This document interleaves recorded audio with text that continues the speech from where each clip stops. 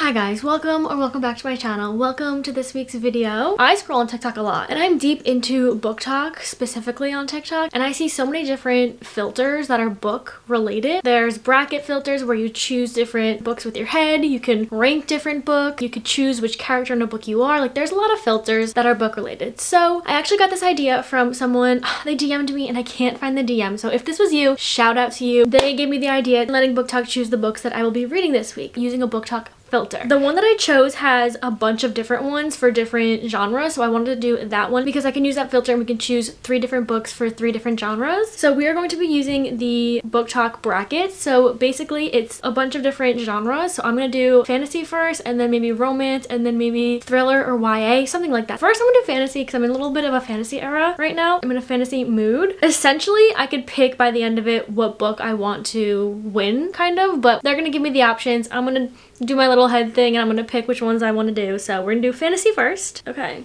I'm recording. Lies Locke Lamora from Blood and Ash. I heard from Blood and Ash is really good. So don't know what it's about, but I'm gonna pick it.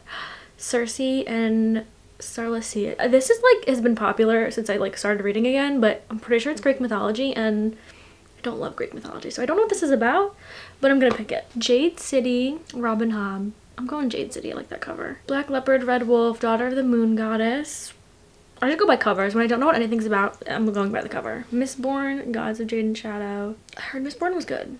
Ugh, Six of Crows. I wish I could pick Six of Crows, but I can't. I already read it. The Name of the Wind. A Curse So Dark and Lonely, Zodiac Academy. Okay. I have Zodiac Academy, but it's a really big series. Don't know if I want to get into that right now, but this cover looks cute. I don't know what it's about. A Curse So Dark and Lonely. Okay, fine. Zodiac Academy. I can't because I've seen pictures of this book and I've seen it in Target and it's so thick. I also have been putting this off for a hundred years, so Invisible Life. Okay, from Blood and Ash. Mm, I'm gonna go by covers. I kind of love this cover. Mistborn again. I heard it was good. Oh gosh. Okay. I can't. Between these two, I'm like, one I've been putting off for so long. The other one I'm about to put off because of how big the series is. And I'm like, I don't know what I should do. Which one should I do? I think Zodiac. I think it'd be more entertaining. I heard that the other one's like a little bit slower. Okay. From Blood and Ash, I think. Um, Zodiac. Oh gosh, okay. From Blood and Ash or Zodiac Academy? Do I want to get into right now? I don't know if From Blood and Ash is a series or Zodiac Academy. I don't know. How do I pick? I think I'm gonna do From Blood and Ash. Am I gonna regret this? We'll find out. Okay. We have our winner. It's from Blood and Ash. You can't see because it's not on my face right now, but Yay. Let's let's go buy it. I don't even have this book, but we're gonna have to go buy it. From Blood and Ash by Jennifer L. Armentrout. Did she write? Wait, she also wrote The Problem with Forever. So she writes fantasy and I don't know what that is. Is that romance? I don't know because I haven't read it yet. That's interesting. So I'm assuming this is going to be a... Is there romance in here? I hope so. I'm going to read the little description.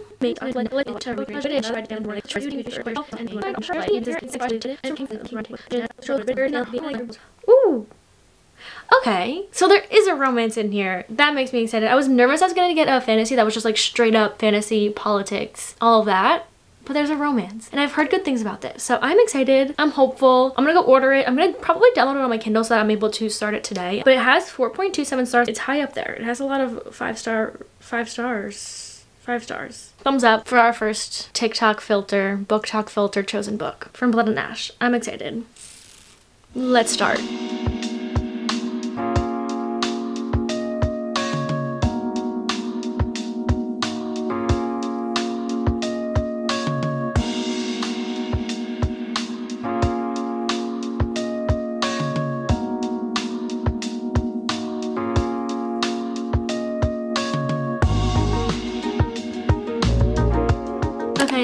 Give a little, I guess like a first impressions kind of update. My book comes tonight, so I have been reading on my Kindle, on my computer, Kindle stuff, my app, like literally just been switching between different methods of Kindle. I got to page about 200 and this book is around 600 pages, so not halfway just yet. I'm hoping to get halfway by today. I will say that I don't love it yet. Like I feel like nothing's happening. Like there's a lot of words, but like nothing's happening really. And I feel like it's kind of long, so maybe it's like setting up for more to come. Plus it's a series, so the first book may not be as interesting, but I feel like, I don't know if this is an unpopular opinion, I feel like just because a book is part of a longer series, I feel like that shouldn't make the first book or whatever not as entertaining as the rest of them. I feel like that's what gets you in, gets the readers in to want to continue the series. Like right now reading this, I don't want to continue the series. I don't really care that much. I don't know. And I don't know if it's the writing or if it's the storyline that's happening right now. I feel like the little romance that I feel like is ensuing wasn't part of this, I wouldn't care. Like I don't love the storyline. I feel like nothing's really happening. So that's what's going on right now in my head. So far, this is like a three star book. So I'm hoping that proves me wrong. I'm hoping that it picks up. I'm only 200 pages out of 600 left. So there's a lot of space for redemption there. But yeah, this is about Poppy who is the maid. There's only one maid in this little world and she's kind of held on like a higher ranking, I guess you can say. And she's fated to be ascended soon. I don't know exactly what ascended means, but she keeps talking about the ascension that's coming. I think that means she becomes like immortal, something like that. I don't know exactly, but she keeps talking about it. It's literally all she's been talking about the whole time. She's not allowed to speak to anyone or touch anyone or have anyone like touch her except like a select few of like the higher ups. But then the love interest, I guess you could say, Hawks becomes her guard. So he kind of watches over her. But they had a little interaction early on in the book. So it's like he doesn't know that she's the maid, but she knows him. It's like this whole thing. And I'm waiting for him to figure out that she is the maid because they have talked before. So there's like little things that I know could happen in the future in the book that could be entertaining. I'm just waiting for it to come. So right now it's nothing crazy. It's not very entertaining for me. It's kind of slow. Just hoping it picks up. That's all. I'm waiting to get my book tonight, then I'm gonna read some more. I'll update you guys once I get further in. Hopefully things will look up from there. But yeah, that's all for me right now.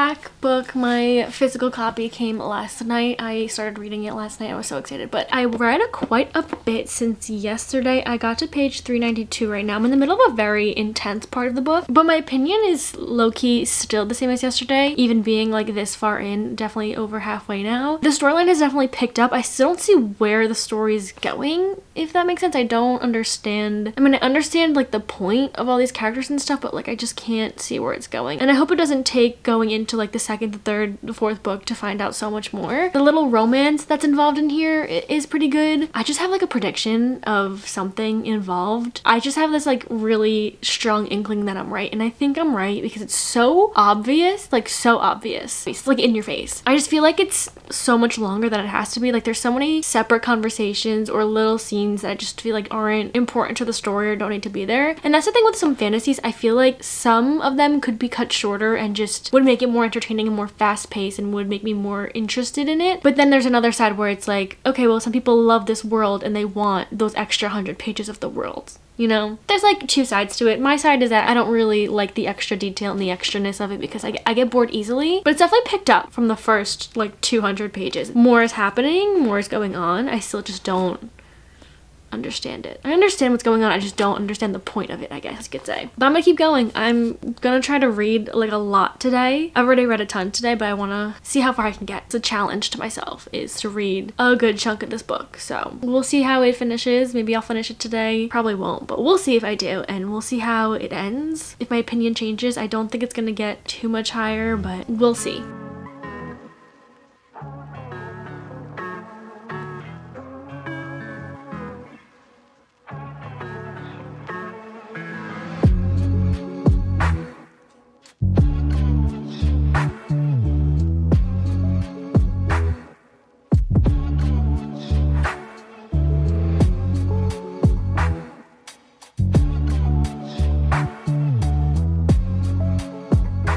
Finished From Blood and Ash last night. I'm very happy that I finished it and that this book is over. I ended up rating this a solid three star. Solid. Like anything higher than that is just not how I felt and anything lower feels too low even though I didn't really enjoy it that much. I just I felt like I didn't really connect with any of the characters so like the whole story reading it I didn't really feel anything towards them so when things would happen or crazy events would go on it was like, like I didn't care really like yeah the story got interesting it did which was a plus definitely got interesting things were happening things were making more sense I just feel like the time it took to get to the end of the book and find all that out was just too long. Personally, I think if this book was cut down like 300 pages and then what I assume is in the second book, and I'm assuming that one's long too, is cut and put into like one book would have been so amazing. Like the end of this just angered me because then I'm like, well now I want to know what happens. I'm not gonna. I'm gonna look up a spoiler or something. I cannot read this. I just, I don't think I liked her writing. Like we would read a whole event that would happen, a whole long chapter, which the chapters are very long, like a whole 20 minute chapter of an event that took place, something crazy happened. And then the next chapter, take like eight pages to describe what happened in extreme detail. And I'm like,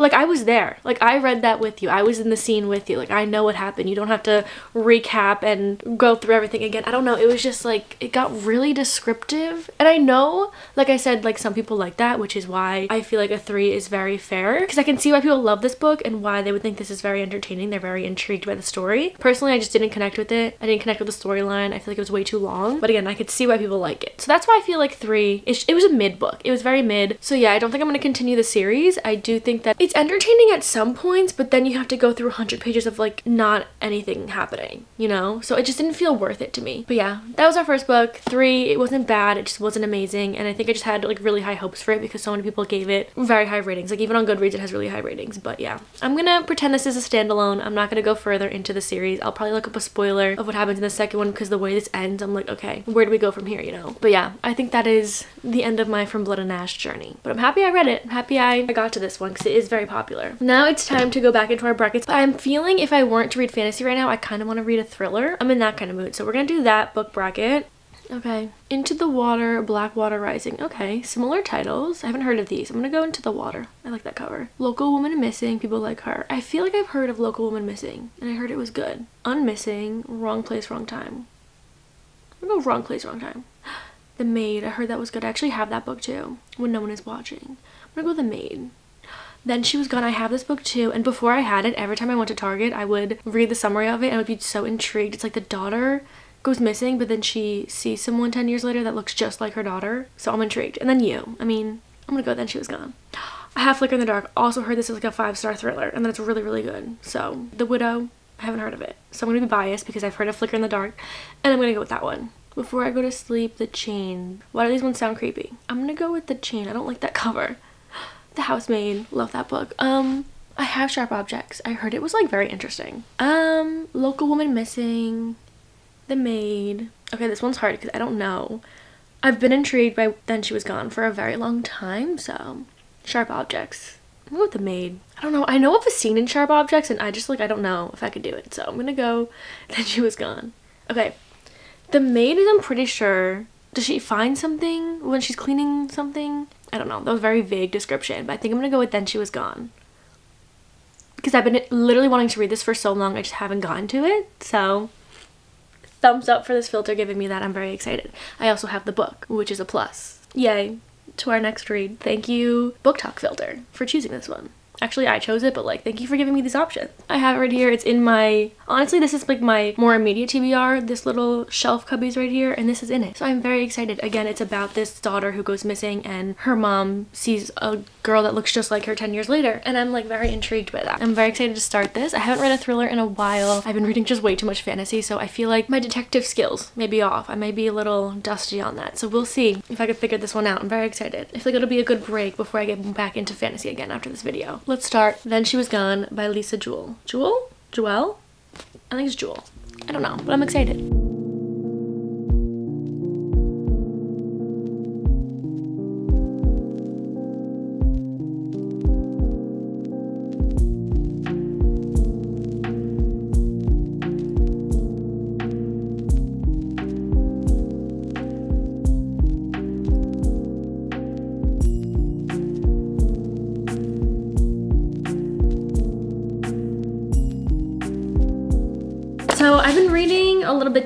Tonight. I haven't read too much this morning, but I got to page 140. Here's some of my thoughts. I love her writing style. Her writing style is reminding me a lot of Alice Feeney, which we know I love, one of my favorite thriller mystery authors literally of all time. The storyline's not really how I feel Alice Feeney would write. There's not too many plot twists as I feel like I get in Alice Feeney books, but a few I just got to. Not plot twists, but things like come up that I like kind of theorize a little bit. So it's like that's kind of fun. But yeah, her writing is really, really, really fast paced and I like where it's going. It's definitely keeping me intrigued. And that's the thing I love about a good thriller mystery. It's like you can't put it down because you want to know how it ends and you want to know what happened. I probably won't finish it tonight. I'll probably get a good chunk of it done because I'm like very intrigued to know what's going on and what all these connections are. It's a lot different than I expected it would be reading the back of it. I had a different kind of expectation from reading the back of it, but it's, it's giving this, but like there's a lot of different factors involved in this that I really need to know how this all connects more than it is. I have like 10 different theories running around my head right now. I will let you guys know if I'm correct on any of them. One of them I was. But yeah, the daughter of the guy she's seeing is giving creepy. She's pretty creepy, also very sus. Everyone is sus. You can't trust anyone, which is like the best part because everyone's suspicious. I'm excited to keep reading. I'm very entertained, which is the most important part. All good things. I'm excited to continue. I'm excited to see what happens. Let's see where this goes. I will come back with further updates.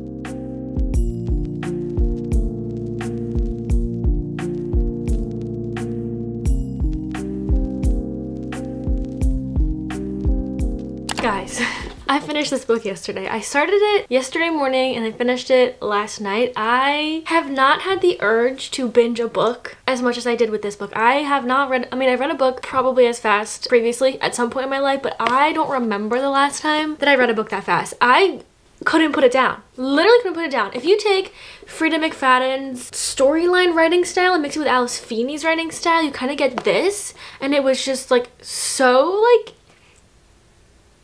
what's the word? Encapsulating? Is that the word I'm thinking of? That seems like it's not it. But I just, I was like, I needed to know how it ended. And the end it was really good because it wasn't like you're waiting for one big plot twist to come. No, it's like a story that's being told and like the sequence of events that go on of what happened to her daughter. And it's just, it's not what I expected it to be. It kind of was more deeper than just like a surface level thriller slash mystery. It definitely had more to it, which I really, really liked. Ending, it got me. I really liked the ending. There were some parts of it that I did guess and I did see coming, but like aside from that, it didn't even bother me. Like I guessed some of the points. Like I still just like I enjoyed it so much. I will say that the beginning was a little bit slow to get into, but I feel like there's a few thriller mysteries. Like sometimes you need to like get the buildup of the story and like see where it's gonna go a little bit. But yeah, after the first like 50-ish pages, it just, I couldn't put it down. I like needed to know what happened because it was so like not what I expected. But then as it went on, like I kind of figured some stuff out. But I still like the ending, it got me good. It got me good and I really enjoyed it. So I'm still sitting between a four and a half and a five star. Sometimes when I read a book like really fast, I don't have time to kind of like process what I read and kind of grasp what I read. So I'm gonna rate this one at the end of the video, but right now it's sitting between a four and a half and a five star. So either way it was really good.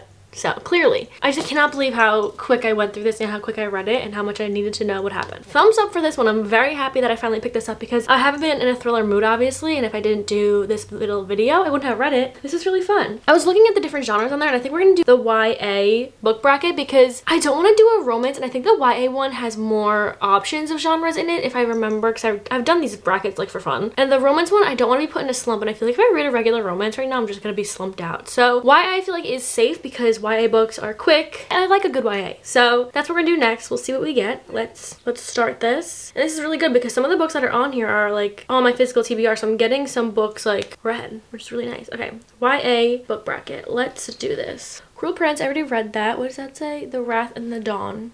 We're gonna have to go with that. Oh, okay, I have both of these. So Everything Everything, I think it's a movie. And I think I know the gist of it. Actually, I think I know the ending of it. I feel like I like looked it up a little when it, the movie came out because I'm very intrigued by the storyline. And then I just read Once Upon a Broken Heart and The Ballad of Never After, which are two books that a third is coming out and it's in the same world as Caraval. It kind of takes place after the Caraval trilogy, but I didn't read the Caraval trilogy before, which you don't have to. I didn't. But I said I want to go back and read the Caraval trilogy because I want to see like what took place before and like what happened, how we got to where we got for Once Upon a Broken Heart. So I feel like that'd be fun. I also have both of these books, so I think I'm gonna go Caraval though. I think that'd be fun. The Hunger Games. I actually have never read The Hunger Games. I have watched it. And then The Knife of Never Letting Go. I've never heard of this, but I kind of would like to read The Hunger Games. They both die at the end. I've heard a lot about this. I don't know if I want to cry. I don't know if this is a sad book from the essence I'm getting of it. Seems sad. And Legendborn I heard was really, really good. And we all know I'm in a fantasy mood. The Darkest Minds and Pet. I have not heard of these. The Darkest Minds looks a little scary. What the heck? What's Pet about? I'm gonna go with The Darkest Minds. Okay, All the Bright Places. I read that book. I really liked that book. Twilight. I actually just bought the other day because I really want to reread it. I read it in like fourth or fifth grade and I don't really remember much from it. So I feel like I need to brush up on my Twilight. So we're gonna go Twilight. Okay, what did I just pick? Oh, I didn't mean to do that. It's Shatter Me. I already read Shatter Me. Can I keep going? I'm gonna keep going. Oh. I don't know what was next to it. We Were Liars already read. Iron Widow. I'm gonna go Caraval. I thought it'd be fun to reread like the world. Hunger Games or Legendborn. I really want to read both. But I already know Hunger Games, so Legendborn. No Twilight. I want to reread Twilight so bad. I can't believe I picked Shatter. I can't believe. I Can't believe I picked Shatter Me. I didn't mean to do that. Um, Iron Widow, obviously. Which one do I do? Legendborn, I heard it's so good. But I really want to read Caraval. I think I'm gonna go Caraval. Okay. Twilight. Such a, like an odd, an odd two to end with. I think I'm like really in the mood to see what Caraval was all about. Plus like the whole setting and the, the scenery of it is just so magical. Okay, we have our winner. We're reading Caraval. I actually have this book, like I said, and I'm really excited because I feel like, one, I love Stephanie Garber's writing. The way she can create the world, the one that I read, is so just beautiful. It's magical. It's so fairy tale, and I really enjoyed that. And I liked being in that world, so I'm very excited to see how she started it and how she kind of built up that world, which is going to be very fun to see. Okay, so Scarlett gets an invitation to see Caraval, but when they arrive, her sister was kidnapped by Caraval's mastermind organizer, and it now revolves around Tella. I'm excited, and now I feel like I can see if I needed to read this before I read Once Upon a Broken Heart, which I still stand by. I don't think I did because I completely understood it, but we shall see. I'm very excited.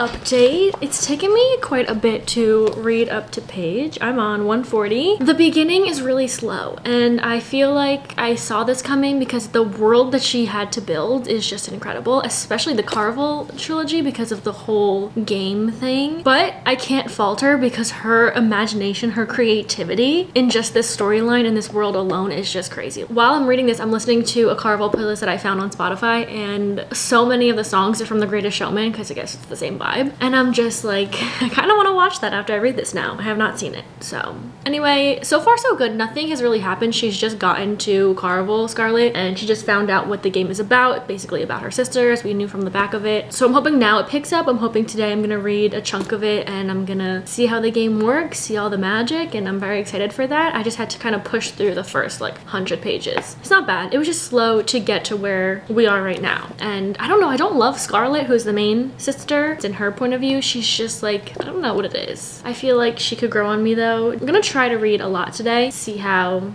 I feel after that. Maybe it'll pick up a bit. I'm hoping now that we're in the game, things are gonna get crazy. I will let you guys know.